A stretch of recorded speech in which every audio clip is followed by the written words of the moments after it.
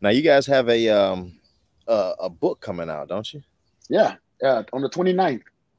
Nice. Now tell me tell me about it and, and tell me, you know, tell me about your contribution. Well, I'm one of the uh, expert authors uh, for the book. This is the uh, second edition for the band, um, the HBCU, and it's just accounts of just you know stories and and experiences that you know we've all had in you know HBCU programs. I'm sure we have similar stories, but uh, it's going to be great to hear you know what people from Norfolk have to say and Southern and FAM and of course Prairie View. You know, so it's going to be a, a, very good read, man. I, I would advise anybody that, you know, that for the culture, like just take a look, man. You know, and see. We really make this this music go around, man. It's a lot of us that's involved with so many things in music, and I always tell people, you know, you don't have to be the star to go pro. Like you can go pro and be behind the scenes. Like it's so many HBCU graduates that push the buttons that make all this stuff work. Right. Right. Now, um, if you look back at all the artists that you've worked with, what's a habit or what's like the secret sauce that you can kind of go with all of them say this is why all of them are great like you got some people that are just so professional and you got some people that just are always on time. Some people have that tireless work ethic. What can you see that's a common thread between these successful artists? I think all of what you said. Um, you know, I, have I've watched Beyonce, you know, be the first person there before we get there, and then thereafter we leave. You know, um, and with her children around, and her being a mom, and you know, a friend, and Ciara same way. You know, I see her I fly in, you know, to California, and she's already at rehearsal. I'm getting picked up, heading into rehearsal. She's already there sweating, like she's been there all day, you know. so I mean, this it's a it's a it's a hard industry, and people expect a lot from you. And the beauty of it is, you know, we rehearse like literally for months for Coachella, only for two hours. You're right. You know, so right. people don't they don't they don't see that you know maybe your stomach hurting or you know you got a headache or your girlfriend tripping at home, or you know the light bill due, or mama sick, and you still got to put that show on.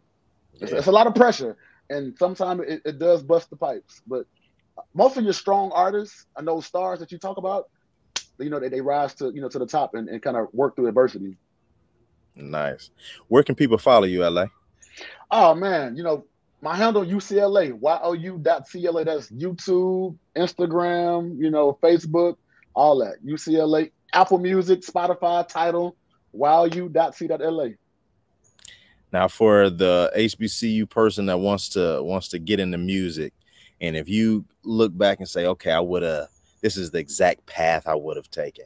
What would you tell them on how to, what path to take, or follow your heart? Give me, give me something that you would that you would advise to the new up and coming people that want to get a chance to work with a Beyonce or a Ciara?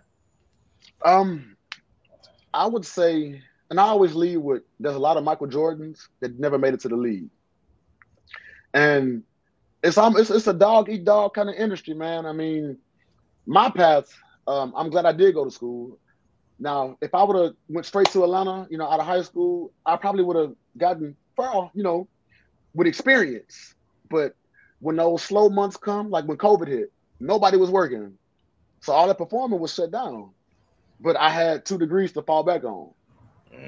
So I would say, you know, not saying you have to go to college, but at least have, you know, plan A, plan B, plan C, plan D. And I always expect that nobody owes you nothing. And if you're in a room, make sure you're in the room. I always try to control my my situations, chess moves, you know, never checkers. And in a way of not being arrogant, but just letting you know, hey, I'm here. Like I, I want you to know I'm here and I'm ready to go. Yes, sir. UCLA, good talking to you. Thank you for taking the time to talk to us. Likewise, brother. Anytime. Anything else you wanna wanna leave with us? Ah man, you know, God bless HBCUs, man. I'm glad these athletes are starting to go to our HBCUs.